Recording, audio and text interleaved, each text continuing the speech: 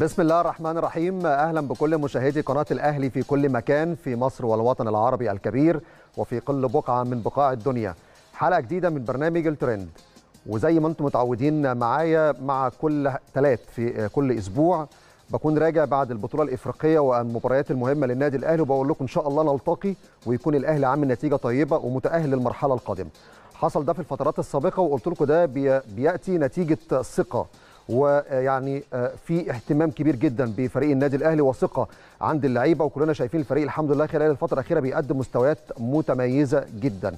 الحمد لله النادي الأهلي تأهل إلى نهائي دوري أبطال إفريقيا رقم قياسي في عدد مرات التأهل إلى المباراة النهائية عدد قياسي في الوصول لمرحلة السيمي فاينال عدد آه، قياسي ومرات قياسي في تحقيق دوري أبطال إفريقيا. الأهلي الحمد لله بيسطر تاريخ جديد ودائما كتاب التاريخ بيفتح صفحات عشان يذكر فيها اسم النادي الأهلي بالألقاب والبطولات والأرقام الجديدة اللي بي بيكسرها كل يوم. الأهلي بيكسر أرقامه القياسية مش بيكسر أرقام آه، فرق تانية. فالحمد لله النادي الأهلي عمل نتيجة كبيرة ومباراة كبيرة أمام الترجي التونسي والنهاردة بلتقي بيكم بعد آه، فوز الأهلي إن شاء الله على الترجي التونسي بثلاثة أهداف مقابل لا شيء وتأهله إلى المباراة النهائية نهائي دوري أبطال إفريقيا أمام كايزر تشيفز يوم 17 7 حلقة النهارده فيها تفاصيل وكواليس مهمة جدا. وهنتابع فيها بعض المعلومات وبعض الأخبار اللي أنا عارف ال social media بتهتم وبتتكلم فيها خلال الفترة الأخيرة. والنهاردة هنقول لكم معلومات جديدة وأخبار جديدة وهتسمعوا حاجات لأول مرة بتسمعوها من خلال برنامج الترند. قبل ما أدخل في تفاصيل الحلقة والسؤال كمان عايز أشيد ببيتسو موسيماني كل يوم المدير الفني الجنوب افريقي للنادي الاهلي بيأكد اللي الحمد لله الواحد كان واثق فيه وواثق في هذا الاختيار منذ اول يوم ومنذ اول قرار باختيار بيتسو موسيماني مديرا فنيا للنادي الاهلي. وقلت من اول وهلة ان بيتسو موسيماني هيكون مشروع قوي جدا للكرة الافريقية الفترة القادمة وده هيكون من خلال اكبر نادي في افريقيا وبالفعل من خلال النادي الاهلي. بالارقام بالبطولات بالاداء بكل المستويات بيتسو موسيماني بيقدم نفسه للكرة الإفريقية وللكرة المصرية تحديدا بشكل خاص في ظل إن في ناس كتير في الدوري المصري وفي الكرة المصرية محتاجة تدرس ومحتاجة تقرأ عشان توصل للمرحلة اللي وصل لها عدد من المدربين الأفارقة وعلى رأسهم بيتسو موسيماني.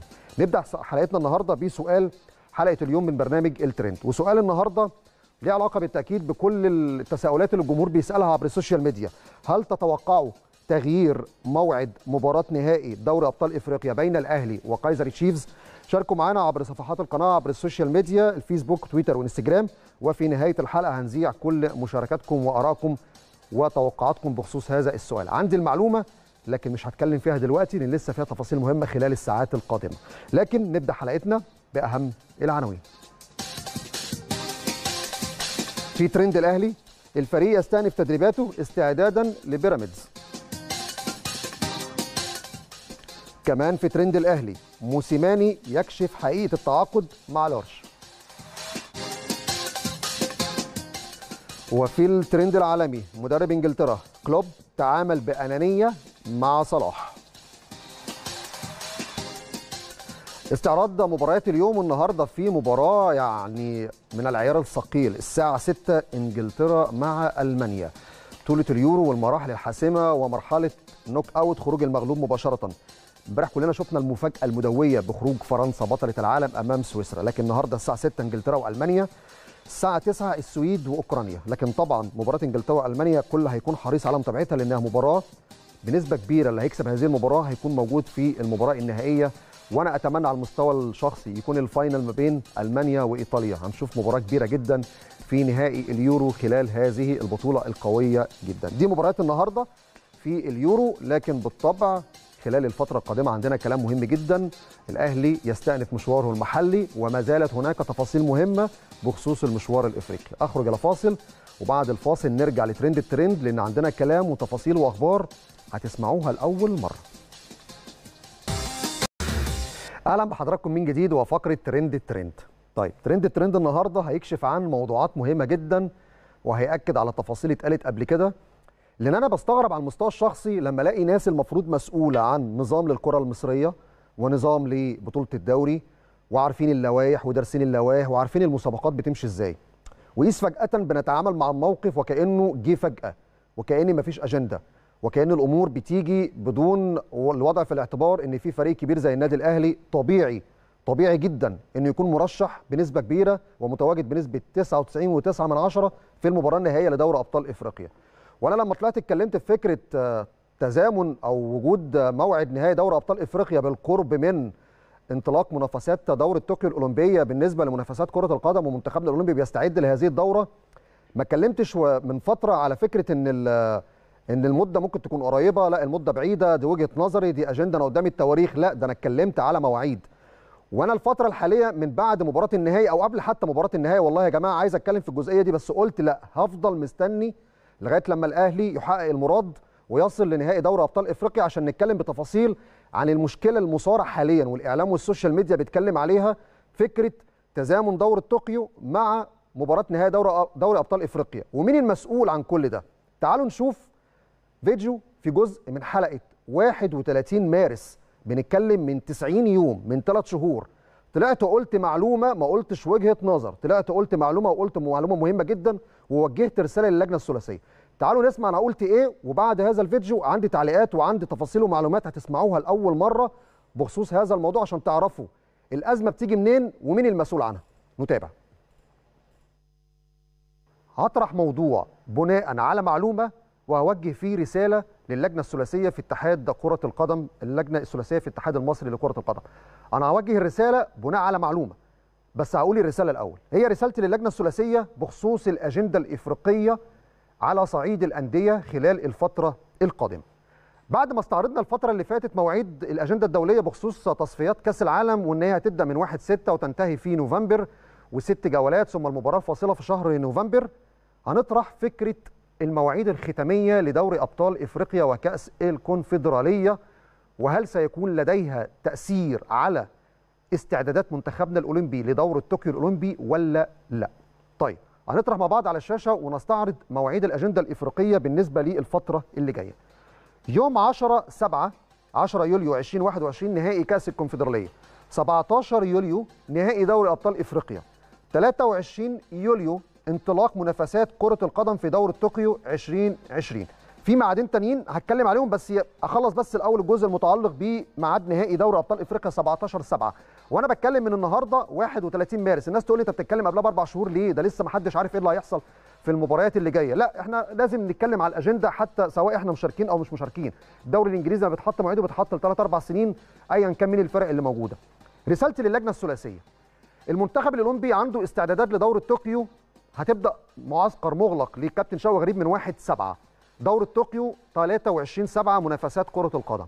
حسب المعلومات اللي عندي إن الدورة الأولمبية أو اللجنة الأولمبية الدولية بالتنسيق مع آه، اليابان عشان تنظم دورة طوكيو الأولمبية هيكون بنظام البابل بنظام الفقاعة الطبية زي ما حصل في كأس العالم للأندية.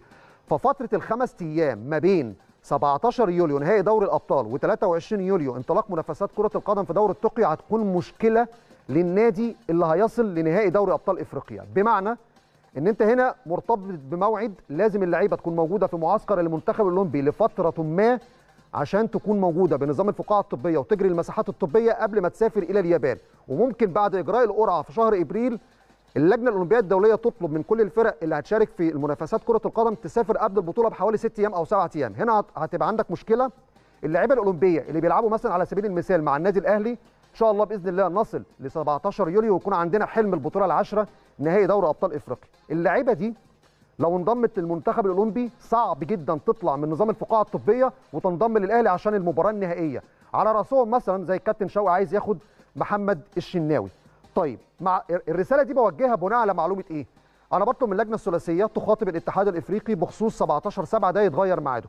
لأن المعلومة اللي عندي إن في دراسة جادة جدا داخل إدارة المسابقات في الاتحاد الإفريقي لتغيير موعد 17 7 لكن طبعا إدارة المسابقات لما بتدرس هذا الأمر بناء على التغييرات اللي هتتم قبل انطلاق دوره طوكيو ممكن ما تاخدش قرار لأن ما فيش أي اتحاد أهلي اشتكى أو ما فيش أي نادي تطرق لهذا الأمر. فبالتالي بناء على المعلومة اللي عندي إن في دراسة لتغيير موعد نهائي دوري أبطال إفريقيا وتقديم الموعد لأول أسبوع في شهر سبعة بدلا من 17 7 بطلب من اللجنة الثلاثية إن هي تتدخل في هذا الأمر وتحافظ على استعدادات المنتخب الأولمبي وإزاي يقدر يستعد بتوقيت مناسب وبمواعيد الإجراءات الاحترازية بشكل سليم وفي نفس الوقت يضمن حق النادي اللي هيكون مشارك وممثل مصر في نهائي دوري أبطال إفريقيا إن شاء الله بإذن الله يكون النادي الأهلي في هذا المحفل. فبالتالي موعد نهائي دوري أبطال إفريقيا خلال الفترة الجاية قد يتغير ميعاده وتلعب المباراة في الأسبوع الأول من شهر سبعة بدلا من 17 سبعة. قلت المعلومة ووجهت الرسالة وأتمنى يكون في تحرك من اللجنة الثلاثية خلال الساعات القادمة. تعليق حضراتكم. قلت المعلومة ووجهت الرسالة. والرسالة وصلت. الرسالة وصلت للجنة الثلاثية. وكنت متوقع إن المهندس أحمد مجاهد منذ هذا التاريخ أو منذ هذا الوقت يكون في تحرك مع الاتحاد الإفريقي بما إنه كمان عضو في اللجنة المنظمة لكأس الأمم. يعني هو مش غريب عن الاتحاد الإفريقي وعن الكرة الإفريقية. هو دايما قريب الصلة من الناس في الاتحاد الإفريقي وموجود داخل لجان الاتحاد الإفريقي. فالمعلومة اللي كانت عندي وده بقى أنا هقوله لأول مرة مش هكشف المصدر بس هقول توقيتها إيه اللي حصل. يوم 25 مارس أحد الاتحادات أو إحدى الاتحادات الإفريقية طلبت من الاتحاد الإفريقي تغيير موعد نهائي دوري أبطال إفريقيا. وقدمت اقتراح إن نهائي دوري أبطال إفريقيا يكون في الأسبوع الأول من شهر سبعة بدل 17 سبعة. أو كأس الكونفدرالية يكون في الأسبوع الأول من شهر سبعة ونهائي دوري أبطال إفريقيا يكون 10 سبعة. ليه؟ لأن أنت عندك غير الاتحاد المصري في اتحادين من القارة الإفريقية اتحاد جنوب إفريقيا واتحاد كوت ديفوار. موجودين في أولمبياد طوكيو. مش مصري بس. أنا طبعا قلت احد إحدى الاتحادات فأنتوا بقى فسروا. اتحاد جنوب إفريقيا أو اتحاد الكوت ديفوار. طلبوا هذا الطلب ولو على سبيل أو بشكل ودي من إدارة المسابقات. طيب المعلومة جات لي وأنا وقتها فكرت وقلت طب الاتحاد المصري ما ياخدش الخطوة دي ويخطر الاتحاد الإفريقي بهذا الموضوع. ما هو الأهلي بإذن الله طالما مشارك في دوري أبطال إفريقيا إحنا من جوانا عندنا يقين إن الأهلي على الأقل بينافس لغاية المرحلة الأخيرة. ممكن بقى حد تاني بيراهن إن ممكن الأهلي يخرج؟ أو هو وجهة نظره الأهلي ممكن ما يكملش؟ طب أنا هتعب ليه ونفسي ليه وأتكلم ليه؟ ما خلاص كده كده إن شاء الله 17 7 المنتخب هيكون في طوكيو فخلاص لعيبتي هتكون موجودة سواء من الفريق الأول أو حتى اللعيبة الأولمبية اللي موجودين في الأندية المصرية. الطلب ده أو الاتصال ده تم مع إدارة المسابقات. إدارة المسابقات اجتمعت لفكرة تغيير الموعد. إلى أن تحدث بعض أعضاء المكتب التنفيذي وقالوا يا جماعة هذه المواعيد تم الاتفاق عليها ما بين لجنة الأندية والمسابقات مع المكتب التنفيذي وتم تسكين هذه المواعيد. وطالما الدورة الأولمبية في طوكيو ليست في الأجندة الدولية فلا هناك أي داعي لتغيير موعد 17 7 الأجندة في موعدها نهائي كأس الكونفدرالية 10 7 في دولة محايدة 17 7 نهائي دوري أبطال إفريقيا. وبالفعل أغلق الملف يوم 5 إبريل ولم يفتح مرة أخرى. إلى أن وصل الأهلي إلى نهائي دوري أبطال إفريقيا. وهنا بدأ اتحاد الكرة يتحرك في هذا الملف ولكنه تحرك متأخر جدا. أتمنى الطلب اللي اتقدم إن كنت لا يعني غير متأكد من إرسال خطاب رسمي لأن أنا بصراحة أنا لسه ما اتأكدتش من المسؤولين في الكاف إن في خطاب رسمي اتبعت من الاتحاد المصري لكرة القدم وأنا في نفس الوقت بحب ابص على الصفحه الرسميه لاتحاد الكره عشان اتاكد اذا كان في خطاب رسمي اتبعت ولا ما اتبعتش فاتحاد الكره ما اعلنش رسمي ان هو بعت خطاب للاتحاد الافريقي. لكن اتمنى اذا كان في خطاب اتبعت يتقدم الميعاد طبقا لرؤية الاتحاد المصري وإن كان هناك صعوبة. 50% 50% عموما بكرة آخر مهلة للكابتن شوقي غريب ويرسل القائمه وأتمنى إن الميعاد يكون يناسبه عشان يختار القائمه اللي هتمثل مصر في أولمبياد طوكيو في ده منتخب بلدنا. ولما طلعت في 31 مارس اتكلمت ايا كان مين هيتأهل بالمناسبة كان ممكن الزمالك يتأهل والأهلي الحمد لله تأهل بس كنت بتكلم لصالح المنتخب ولصالح مصر في المقام الأول وده دورنا هنا. إحنا بنتكلم لصالح بلدنا في المقام الأول منتخبنا الوطني وبلدنا هي في المقام الأول قبل كل شيء. عموما المسؤول وقتها ما اتحركش وحصلت الأزمة والمفروض في اتصالات مع الاتحاد الإفريقي طبقا لتصريحاتهم. إمبارح أنا أجريت اتصالات مع المسؤولين في اتحاد جنوب إفريقيا وأكدوا لي ما فيش أي تنسيق. مع الاتحاد المصري وما بعتوش أي فاكس للاتحاد الأفريقي أو أي إيميل بيطالبوا بتقديم الميعاد.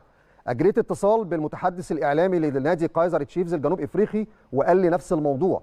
لم نطلب تقديم الموعد ولم نطلب أي شيء وهناك سبع حالات كورونا في الفريق. ما كانوش موجودين في مباراة الوداد نأمل في شفائهم سريعا ويلحقوا مباراة نهائي دوري أبطال إفريقيا يوم 17 7 فأنا بالمنطق فريق عنده حالات كورونا كتير وعنده 10 لعيبة المفروض بكرة آخر ميعاد أو آخر يوم في العقد بتاعهم مع النادي والنادي بيفكر في تجديد تجديد التعاقد معاهم. فنادي كايزر تشيفز يعني عنده مشكلتين تجديد عقود 10 لعيبة وحالات كورونا بيأملوا في الشفاء أو يأملوا إن هم يكونوا جاهزين قبل ماتش 17 7 فمش من منطقي يطلبوا يقدموا الماتش لأن هم عايزين يأخروا في ميعاد الماتش.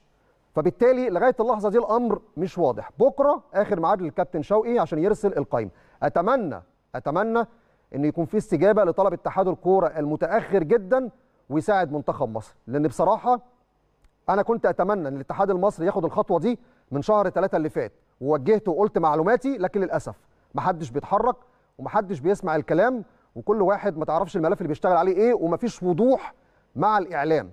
ليه بقول مفيش وضوح مع الإعلام؟ طب قبل ما أتكلم ليه مفيش وضوح مع الإعلام عايز أتكلم كمان عن نهائي دوري أبطال إفريقيا. طيب نهائي دوري أبطال إفريقيا يا جماعة حتى هذه اللحظة في المغرب وملعب محمد الخامس أو مركب محمد الخامس المفروض في هذه الفترة مغلق لأعمال الصيانة في بعض المرافق عشان الفترة الجاية هيكون بيستضيف نهائي دوري أبطال إفريقيا يوم 17 7 ما بين الأهلي وكايزر تشيفز كايزر تشيفز هيسافر من جنوب إفريقيا هيسافر من جنوب إفريقيا. فترة الحجر الصحي اللي موجودة حاليا وبسبب انتشار الوباء والفيروس في المقاطعة اللي فيها كايزر تشيفز لن تمنع كايزر تشيفز من السفر. والدولة في جنوب إفريقيا بتدعم نادي كايزر تشيفز بشكل قوي جدا. وقبل مباراتهم مع الوداد صدر خطاب من وزير الشباب والرياضة بيدعم فيه الفريق ومن رئاسة الجمهورية بيدعموا فيه فريق كايزر تشيفز لأنه أحد أكبر الفرق في جنوب إفريقيا وأكبر الأندية شعبيه في جنوب إفريقيا. فكايزر تشيفز هيسافر هيسافر. اقفلوا الملف ده وبلاش فكرة أصل ممكن ينسحب ويجي نادي الوداد. الكلام ده غير مطروح أساسا وأتمنى ما يتناقش في الإعلام الرياضي في مصر لأن الموضوع ده يعني نقدر نقول كده موضوع إيه يعني ملوش معنى وملوش فايدة. تمام؟ دي نقطة. النقطة الثانية نهائي دوري أبطال إفريقيا يوم 17 7 فاكرين مباراة الأهلي والزمالك الموسم الماضي لما قلنا ساعتها هيبقى فيه extra time وركلات جزاء؟ طيب خدوا المفاجأة وخدوا الجديد وهنشر لكم دلوقتي التعديل اللي تم على لائحة دوري أبطال إفريقيا على الشاشة المادة 28 قدامكم على الشاشة دي اللائحة المعدلة لدوري أبطال إفريقيا في الموسم الحالي. المادة 28 بتقول إيه؟ المباراة النهائية بتقام من مباراة واحدة في مدينة بيختارها الاتحاد الإفريقي لكرة القدم والمباراة بتلعب على شوطين كل شوط 45 دقيقة. وفي حالة التعادل يلجأ الفريقين إلى ركلات الجزاء الترجيحية طبقا للوائح الفيفا المنظمة للقانون اللعبة.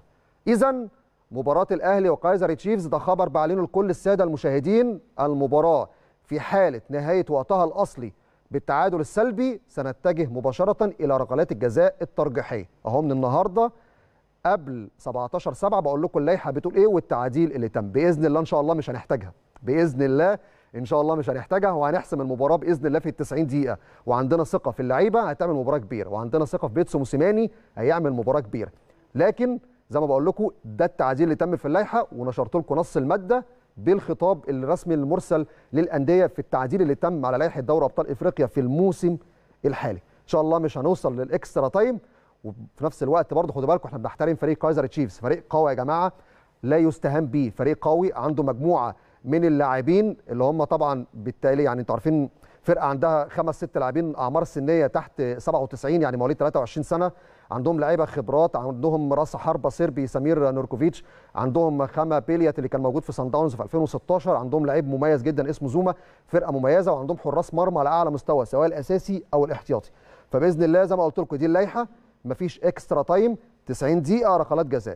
إن شاء الله بإذن الله الأهلي ما يوصلش ال extra time ونتأهل أو نفوز ب أو يعني 90 دقيقة نكسب. بإذن الله مفيش extra time إن شاء الله ولا ركلات جزاء. لا قدر الله حصل تعادل نوصل لضربات الترجيح أو ركلات الجزاء مباشرة وده التعديل اللي تم في اللائحة. وطبعا زي ما أنتم شايفين كده مفيش اكسترا تايم خلاص. 90 دقيقة ركلات جزاء لكن إن شاء الله مش هنوصل لركلات الجزاء مباشرة. طيب الحاجة الثانية اللي عايز أتكلم فيها برضو بكرة 30 6 30 6 ده آخر موعد للاتحاد المصري لإرسال أسماء الأندية للاتحاد الإفريقي. هل الاتحاد طلب استثناء؟ ما عنديش معلومة وبسأل ومفيش إجابة. بيراميدز خرج من الكونفدرالية ففكرة وجوده في الفاينل يوم 10 7 أصبحت غير متاحة عشان يكون موجود في البطولة القادمة على الأقل بصفته حامل اللقب لكن خرج من نصف النهائي أمام الرجاء المغربي. فبكرة 30 6 هل اتحاد الكرة هيطلب استثناء؟ مش عارف. فهل لا طلبت استثناء في القيد؟ طيب القيد كمان. عندك القيد المحلي اتحاد الكرة كان قال هيكون بعد نهاية الدوري 28 8 يا فندم اطلب استثناء تفتح القيد قبلها بشهر. زي ما الفيفا قايل لك السنة دي أو السنين القادمة في ظروف استثنائية اطلب فتح القيد المحلي قبل نهاية الدوري بشهر عشان تقدر الأندية تعمل صفقات. السنة اللي فاتت كانت ظروف استثنائية والقرار كان على الكل فالفيفا فتح القيد للكل. لكن المرة دي هيبقى كل ظروف وكل حالة على حدة. اطلب فتح القيد قبل نهاية الدوري بشهر عشان النادي الأهلي لما يأيد لعيبته لدوري أبطال إفريقيا الموسم القادم يكون يقدر يضيف الصفقات الجديدة. لما إن شاء الله يلعب سوبر افريقيا 24 9 يكون عنده الصفقات الجديدة. لما يروح كأس عالم أندية إن شاء الله في شهر 12 الجاي في اليابان يكون عنده صفقاته الجديدة. لكن لو اتحاد الكورة ما طلبش فتح القيد استثناء من الفيفا قبل نهاية الدوري بشهر للأسف أي صفقة هتتم الفترة الجاية مش هتكون معاك افريقيا ولا دوليا إلا من شهر يناير القادم. فلا طلبت استثناء في القيد ولا طلبت استثناء في 30 6 فأتمنى يكون في خطوة خلال الساعات القادمة. أخرج إلى فاصل. وبعد الفاصل نرجع مع بعض ونشوف آخر استعدادات الأهلي لمباراة بيراميدز واستئناف المشوار المحلي. أهلا بحضراتكم من جديد؟ طيب الأهلي خلاص قفل الملف الإفريقي حاليا وأغلق الملف الإفريقي استعدادا لاربع مباريات في الدوري المحلي خلال الفترة القادمة في ظل إن في ثمان مباريات مؤجلة للنادي الأهلي خلال الفترة الحالية لذلك أذهب مباشرة إلى ملعب التتش بالجزيره مع الزميل العزيز شريف شعبان مراسل قناة النادي الأهلي عشان نعرف منه آخر استعدادات الأهلي لمباراة بيراميدز يوم الخميس والنهاردة بالتأكيد الفريق بيستأنف تدريباته بعد الراحة السلبية بالأمس استعدادا لانطلاق المنافسات المحلية في الدوري العام. مساء الخير يا شريف. مساء الخير زميل محمد تحياتي ليك وتحياتي لكل جماهير النادي الأهلي في كل مكان. طيب عايز أطمن منك على الاستعدادات النهارده التمرين الساعة 5 وبكرة أيضا في نفس التوقيت ودخول معسكر. الأجواء عندك في ملعب التتش وأبرز اللاعبين اللي موجودين هل في لعيبة اتصعدت من قطاع الناشئين ولا المجموعة اللي موجودة حاليا وهل هيبقى في rotation الفترة الجاية ولا الجهاز الفني بيفكر إزاي في الاستعداد لمباراة بيراميدز يمكن التمرين بالفعل في الخامسة مساء. يمكن في محاضرة الآن فنية مع مستر بيتسو موسيماني وجميع اللاعبين. اتكلم فيها مستر بيتسو موسيماني في أول المحاضرة غلق الملف الأفريقي بالكامل عدم الحديث نهائيا عن المباراة عن مكان المباراة عن تقديم المباراة أو تأخير المباراة عن تغيير الدولة. كل اللي بيقال بيتقال في ال social media إغلاقه تماما والتركيز فقط في المباريات المحلية التركيز فقط في مباريات مباراة بيراميدز تباعا بعد مباراة مباراه بيراميدز التركيز على الحصول على الثلاث نقاط في كل مباراه اعتلاء قمة الدوري المحافظة على لقب الدوري. يمكن في محاضرة فيديو فيديو لفريق بيراميدز كل لاعب كل لاعب ليه الفيديو المخصص ليه علشان خاطر يذاكر واجبات مركزه مطلوب منه إيه في مباراة بيراميدز. النهارده تحذيرات شديدة اللهجة من مدير الكرة الكابتن سيد ومستر بيتسو موسيماني. التركيز ثم التركيز فقط في المباريات المحلية وعدم الحديث نهائيا عن المباريات الأفريقية. قبل بداية المران كان في المسحة الخاصة بمباراة بيراميدز. يمكن المران لسه ما بدأش لسه اللاعبين مستمرين في المحاضرة. هنعرف بقى بعد خروج اللاعبين مين اللي هيشارك في المران مين اللي ممكن يبتعد عن الإصابة. إحنا ممكن سامعين إن في كلام عن وليد سليمان. لسه مدة الغياب هنعرفها. أما نتكلم مع الدكتور أحمد أبو عبلة كل الكواليس دي هتتضح في خلال ساعات ولكن المؤكد إن وليد سليمان خارج مباراة بيراميدز هيكون في rotation في الأربع مباريات المقبلة. مستر بيتسو موسيماني متكلم مع الجهاز ومتفقين على الخطة اللي هيشتغل فيها في الأربع مباريات القادمة. مستر بيتسو موسيماني وجهازه والجهاز الإداري ما بيسيبوش حاجة إلا ما بيتكلموا فيها. الجهاز الإداري شغال على التأشيرات وشغال على السفر إلى دولة المغرب. الكل شغال في تخصصه. الكل واحد في النادي الأهلي كالعادة النادي الأهلي كل واحد في مكانه بيشتغل وبيعمل شغله. أهم حاجة بإذن الله بإذن الله بإذن الله يكون التوفيق بس موجود معانا يوم الخميس ونفوز على فريق كبير. طبعا هو فريق بيراميدز في بطولة الدوري على استاد الأهلي والسلام. من خلف التمرين هيبدأ بعد قليل. يا رب بإذن الله دعواتنا ودعوات كل الأهلاوية يكون الفوز من نصيب النادي الأهلي. إن شاء الله. زميلي العزيز شريف شعبان مراسل قناه الأهلي أنا بشكرك شكرا جزيلا على كل هذه المعلومات والإيضاحات. وبإذن الله يكون استئناف جيد للمشوار المحلي أربع مباريات ب 12 نقطة. مهم جدا تحرز النقاط الفترة القادمة عشان تضييق الفارق وتوسيع الفارق بعد ما تنتهي بالمباريات الثمانيه المؤجلة عشان تكون انت اعلى من الزمالك بأربع نقاط. قبل قبل ما اطلع لفاصل عايز أقول نقطة مهمة يمكن شريف كان بيقول لي في غلق فكره المشوار الإفريقي والتركيز على المشوار المحلي وبداية التجهيز للتأشيرات. هي معلومة بس يعني اصبروا كده خلال اليومين الجايين لما نعرف تفاصيل الاجتماع. بس هي معلومة برضو أقولها لكل السادة المشاهدين عشان تسمعوها لأول مرة هنا من خلال برنامج الترند على شاشة قناة الأهلي. هناك أخبار عن احتمالية اجتماع للجنة المسابقات في الاتحاد الإفريقي خلال الساعات اللي جاية أو خلال الأيام اللي جاية. الاجتماع بهدف إيه؟ لسه جدول الأعمال ما عنديش تفاصيله. هل ممكن الاجتماع عشان يشوفوا جدول التنظيم أو اللجنة المنظمة تشوف الاستعداد للمباراة النهائية في المغرب ولا هيشوفوا أي أمر تاني؟ أنا لسه لغاية اللحظة دي ما أعرفش تفاصيل الاجتماع بس بيتردد داخل أروقة الكاف إن في اجتماع خلال الساعات الجاية للجنة المسابقات. ده هنعرفه خلال الفترة الجاية وبإذن الله هنكون معاكم أول باول ونقول لكم كل الجديد خلال الفترة الجاية. قبل موعد النهائي 17 7 في المغرب بين الأهلي وكايزر تشيفز. أخرج إلى الفاصل وبعد الفاصل نرجع مع بعض ونبدأ نشوف ترند الأهلي واللي اتكتب عبر ال social media عن النادي الأهلي. أهلا بحضراتكم من جديد وفقرة ترند الأهلي والمحتوى اللي موجود من خلال ال social media ودايما بنشوف صفحات ال social media الحديث عن النادي الأهلي ولاعيبي النادي الأهلي لا ينقطع من الصبح بالليل كل يوم معلومة وكل يوم جديد دايما عن النادي الأهلي. أبدأ مع حضراتكم من خلال الصفحة الرسمية ليلا كورة على الفيسبوك نشروا محمد هاني لن يلحق بمباراة بيراميدز ليس جاهزا.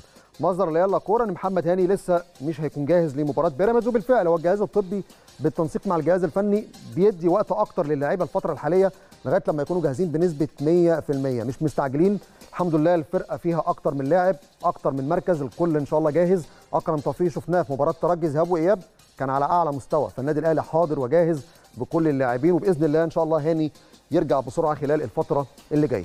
كمان من يلا كورة لسه مع الحساب الرسمي ليلا كورة ولكن من خلال آه تويتر. مصدر ليلا كورة وليد سليمان مستمر مع الأهلي وتخطى نسبة تفعيل عقده طيب النهارده أكتر من زميل صحفي كان نشر معلومة إن في بند في عقد وليد سليمان إن في حال إن السنة الأولى مش هيوصل آه آه وليد سليمان أو مش هي يعني يقدر يلعب 50% من نسبة المشاركة.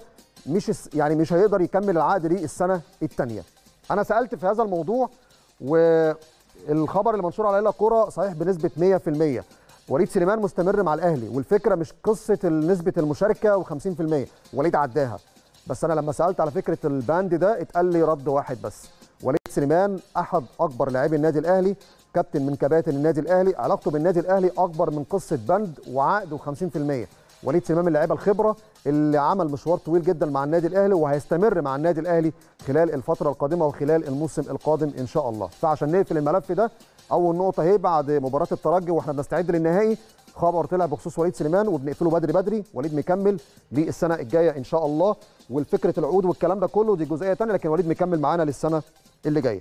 في الجول والحساب الرسمي على الفيسبوك نشروا الأهلي يتفق مع علي معلول وجونيور اجاييه على التجديد عقب نهائي دوري أبطال إفريقيا. طيب هي برضو مش فكرة الاتفاق هي فكرة كل الملفات حاليا معلقة لحين انتهاء المشوار الإفريقي يوم 17 7 ده أمر معروف للجميع وأمر تم اتخاذ قرار فيه منذ أكثر من حوالي شهرين بعد نهاية مباريات دوري المجموعات كل الملفات المتعلقة بالتجديد وبالصفقات مغلقة حاليا ومفيش أي كلام عليها لغاية لما نخلص المشوار الإفريقي. عشان بعد المشوار الإفريقي تقدر تعرف الفترة الجاية أنت محتاج إيه التدعيمات اللي ممكن تكون محتاجها. يعني قبل ماتش الترجي البعض كان يقول لك إيه مثلا عندك أكرم توفيق وناصر ماهر ما بيلعبوش فممكن بنسبة كبيرة بره قائمة الأهلي الموسم الجديد. أكرم توفيق لعب مباراة الترجي ذهاب وإياب وأصبح من اللعيبة الأساسية. رد فعل الناس إيه دلوقتي؟ يا جماعة كرة القدم والمباريات كل يوم فيها جديد فمحدش عارف النهارده يوم 17 7 مين اللعيبة اللي هيكسبك الفاينل مين اللعيبة اللي هيكون سبب رئيسي في حمل كأس البطولة العاشره للنادي الأهلي. فالملفات دي كلها مغلقة لبعد نهاية دوري أبطال إفريقيا ولسه الدوري معانا مكمل ليوم 26 8 طيب كمان الصفحة الرسمية لليوم السابع بيتكلموا على بدر بنون. الأهلي يغلق ملف العروض الخارجية لشراء بنون في الصيف. بدر بنون ده لسه في أول سنة مع النادي الأهلي. يعني ده لسه أول موسم ليه مع النادي الأهلي محل وافريقي بدر من اللعيبة الأساسية وحجز مكان في أول مباراة ليه في التشكيلة الأساسية. فمش من الطبيعي ولا المنطقي مناقشة أي عرض لبدر بنون ده ألف ب اللي بيفكر في احتياجات فرقة وقايمة وبيحضر لموسم جديد. لعيب لسه جايبه من سنة. أستغنى عنه؟ أكيد لا طبعا. فهي الفكرة بس يا جماعة ملف الصفقات والتعاقدات الناس بتتكلم فيه كل يوم. ولو الناس رجعت وسمعت وشافت اللي اتقال اليومين اللي فاتوا أو الشهر اللي فات هيلاقيه عكس اللي بيتقال دلوقتي. كل يوم في جديد ومفيش حاجة اسمها انفراد في الملفات دي. الملفات دي لسه معلقة لبعد نهاية دوري أبطال إفريقيا والموسم الإفريقي والموسم المحلي. يعني أنت عندكم مثال الدوري المصري هيخلص يوم 26 8 القيد المحلي هيبدأ 27 8 مش يمكن اللجنة الثلاثية واتحاد الكرة يعمل حاجة كويسة ويطلب من الفيفا استثناء ويفتح القيد قبل نهاية الدوري بشهر. فيبدا القيد مثلا من 26 7 أو 27 7 ساعتها الأهلي هيفكر في صفقات ويأيدها في الفترة ديت. لكن لو مفيش ده هتأيده بعد 26 8 هيكون القيد الإفريقي خلص. مش هستفيد بدوري أبطال إفريقيا. في حسابات معينة يا جماعة لازم تركزوا فيها قبل ما تتكلموا عن خبر لعيب رايح أو لعيب جاي أو تجديد عقد أي لاعب. طيب آخر حاجة معايا من الصفحة الرسمية والحساب الرسمي لبيتسو موسيماني المدير الفني للأهلي على تويتر وكتب النهارده الكلام ده حوالي الساعة 12 الظهر. هناك شائعات تقول أن الأهلي يريد ثيمبينكوسي لورش ده مهاجم فريق أورلاندو بايرتس. قال لو حدث ذلك اولا وبكل تواضع سأتصل برئيس النادي وأطلب منه السماح بهذا. آه، طبعا آه، هذا اللاعب لورش هو لاعب أورلاندو بايرتس. طيب أنا عشان أشرح للناس الجزئية دي وأنا سألت في جنوب إفريقيا. بيتسو على علاقة طيبة طبعا بكل الناس في جنوب إفريقيا. وفي توقيت تعاقد الأهلي أو فكرة تعاقد الأهلي مع آه، جاستون سيرينو بعض الجماهير كانت زعلانة ومتضايقة من فكرة إن هو طبعا عايز ياخد أهم لعيب من عندهم وده منطقي وموجود في كل دول العالم. لكن النهارده لما صحف جنوب افريقيا تطلع باسم هذا اللاعب وهو مهاجم مميز جدا في أورلاندو بايرتس أكيد ده عمل ردود فعل سلبية لبيتسو بالنسبة لجماهير جنوب افريقيا. فهو كان حريص إن ينفي هو على طول مباشرة ويقول علاقتي بالناس هناك أكبر من فكرة التعاقد مع أي لاعب. فبالتالي غلق هذا الملف وزي ما قلت لكم الأهلي لسه لا بيفكر في فكرة تدعيمات في الفترة الحالية. أكيد عنده ملفات وعنده أسامي لكن غلق هذه المساحات والملفات والصفقات أكيد لسه في وقت إن ده أمر مرتبط بمواعيد قيد محلي وإفريقي ولسه بعد البطولة الإفريقية هتشوف احتياجاتك خاصة لما بتتكلم في عدد الأجانب تحديدا. ده بيبقى شيء مهم محتاج جلسة واجتماع وتخطيط لهذا الأمر عشان الفترة القادمة. أخرج إلى فاصل وبعد الفاصل لسه مكملين مع حضراتكم باقي فقرات برنامج الترند.